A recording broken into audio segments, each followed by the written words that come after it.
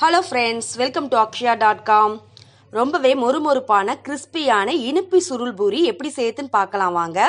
இது வரைக்கும் நம்ம சேனலை சப்ஸ்கிரைப் பண்ணாதவங்க சப்ஸ்கிரைப் பண்ணிடுங்க. வாங்க இப்போ கோதுமை மாவில் நம்ம இனிப்பு சுருள் பூரி எப்படி செய்யுதுன்னு பார்க்கலாம்.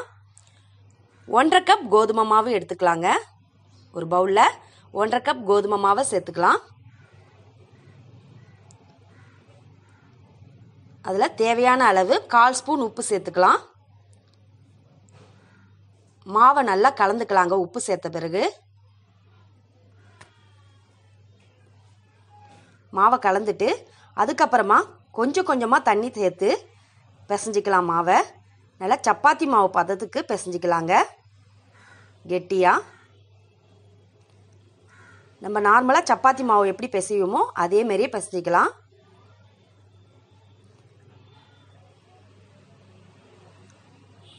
அவ்வளோதாங்க பிசைஞ்சிட்டோம். இப்போ இந்தமாரி பிசைஞ்சிட்டு இதில் ஒரு அரை ஸ்பூன் எண்ணெய் சேர்த்து பிசைஞ்சு மூடி வச்சிடலாங்க. ஒரு பத்து நிமிஷம் மாவு அப்படியே ஊறட்டும். இப்போ ஒரு பவுலில் அரை கப் அரிசி மாவு எடுத்துக்கலாம்.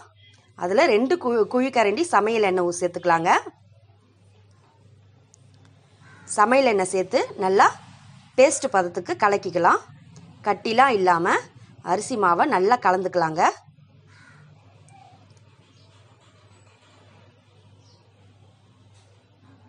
இந்த மாதிரி கலந்து வச்சிடலாம்.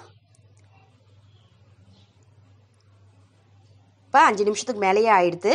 இப்போ மாவை திறந்து ஒரு லைட்டாக பிசைஞ்சிக்கலாம் மாவை.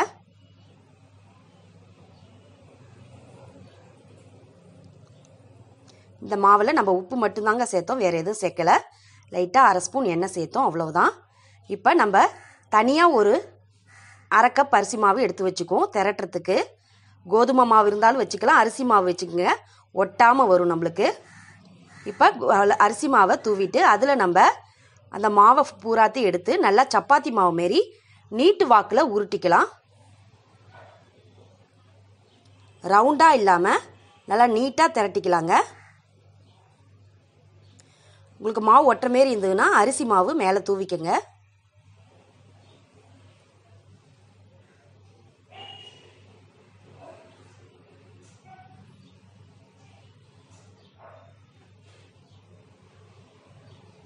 நம்ம ஒன்றரை கப்பு மாவையும் இதே மாதிரி ஒரு இது உருட்டுனா போதும். இந்தமாரி மெலிசாக வரணும். நம்ம சப்பாத்திக்கு எப்படி மெலிசாக இருக்குமோ அந்தமாரி சப்பாத்தி மெலிசாக இருக்கிற மாரி இதையும் மெலிசாக உருட்டிக்கலாம்.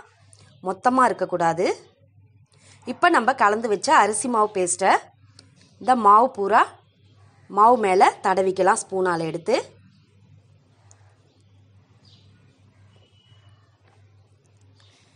எல்லா இடமும் பரவுற மாரி தடவிக்கலாங்க. இந்த அரிசி மாவு பேஸ்ட்டு தடவுறதுனால தான் நம்மளுக்கு நல்லா லேயராக மொறு மொறுன்னு கிடைக்கும். இப்போ அதை நல்லா கீழே இருந்து மேல் வாக்கில் அப்படியே மடிச்சுக்கலாம். இப்போ மடிச்சுட்டு திரும்ப அது மேலே நம்ம அரிசி மாவு பேஸ்ட்டை ஃபுல்லாக தடவிக்கலாம்.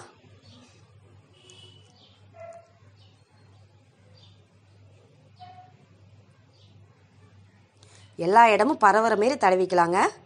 இப்போ மேலேருந்து கீழே மடிச்சுக்கலாம். இப்போ ஒரு உருட்டு உருட்டிக்கலாங்க நல்லா மெலிசாக ஆகிறதுக்கு லைட்டாக உருட்டிட்டோம். இப்போ அந்த ஜாயின் ஆகிற இடத்த லைட்டாக அமுக்கி விட்டுக்கலாம். இப்போ திரும்ப அரிசி மாவு பேஸ்ட்டை எல்லா இடமும் பரவுற மாரி தடவிக்கலாம்.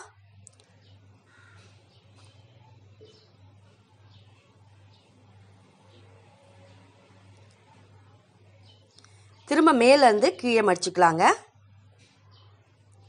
இப்போ திரும்ப உருட்டிக்கலாம்.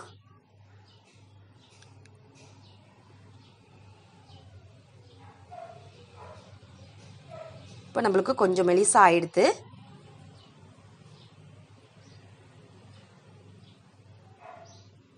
இப்போ திரும்ப அந்த அரிசி மாவு பேஸ்ட்டை திரும்ப இதில் எல்லா இடமும் பிறவுற மாரி தடவிக்கலாம்.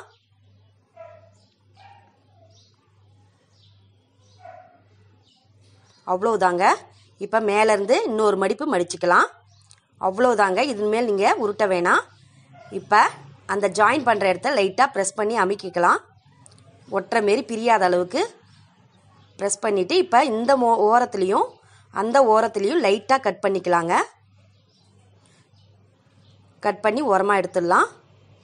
இப்போ இதை சின்ன சின்ன துண்டாக கட் பண்ணிக்கலாங்க.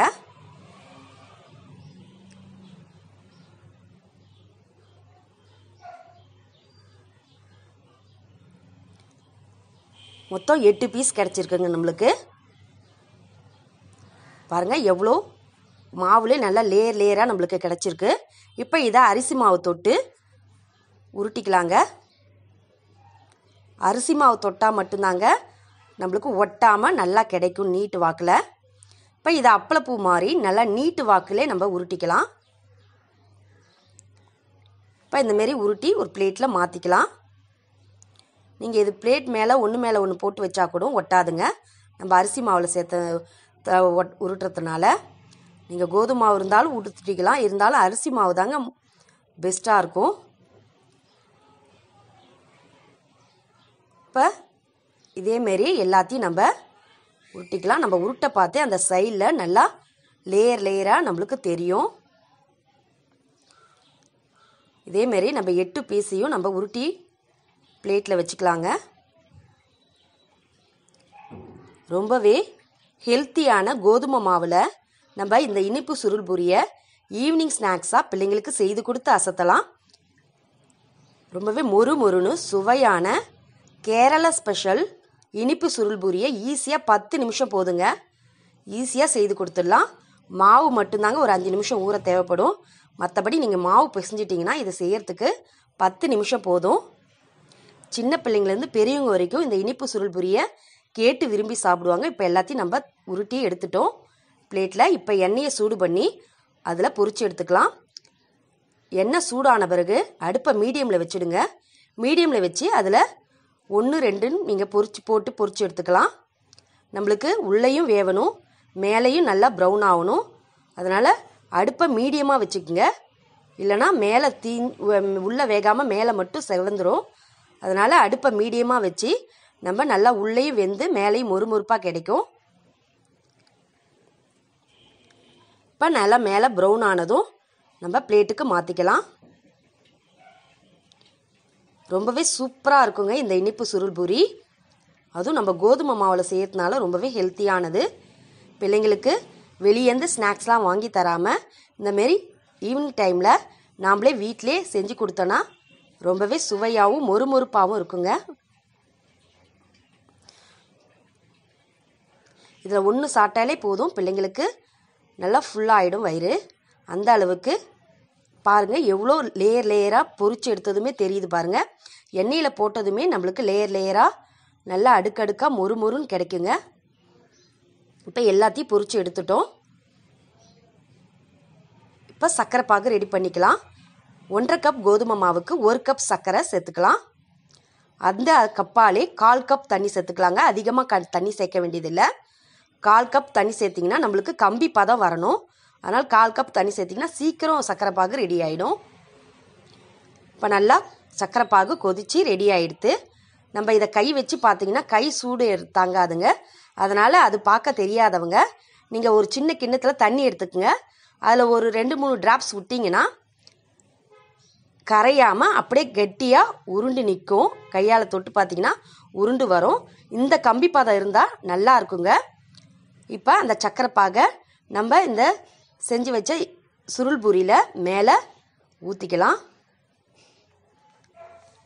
ஒரு பக்கம் இனிப்பும் ஒரு பக்கம் இனிப்பு இல்லாமலும் நல்லாவே சூப்பரான டேஸ்ட்டில் மொறு மொறுன்னு கிறிஸ்பியாக இருக்குங்க இந்த இனிப்பு சுருள் பூரி.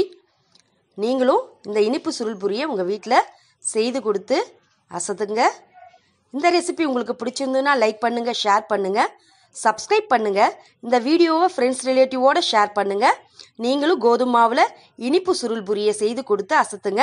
நன்றி வணக்கம்.